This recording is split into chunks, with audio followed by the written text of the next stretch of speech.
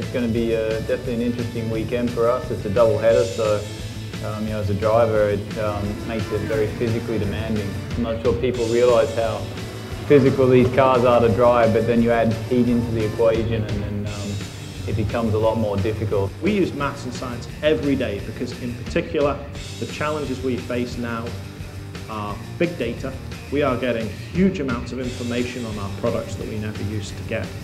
And what we're increasingly looking to do is work with people who give us those skills, be able to predict the answer, to be able to model.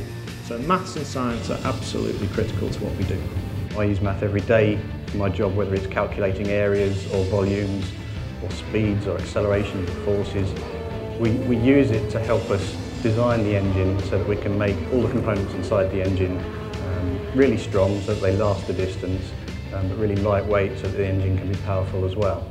It's a great opportunity. Um, a lot of times, we're um, as a teacher, we're talking about these ideas and concepts, and sometimes when it, when the students actually see and they actually hear real people doing real jobs, then it actually makes a connection between them. It's great to see people in that field actually life to life. It's been kind of like a role model for me.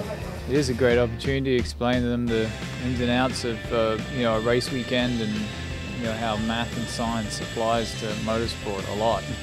The energy industry is facing a period of tremendous change and that pace of change is accelerating and we need the next generation of scientists and innovators to help us solve the energy challenge. This is really exciting for me and I, I was really excited to see that video and to see actual race car people and the engineers. I really was really excited and interested.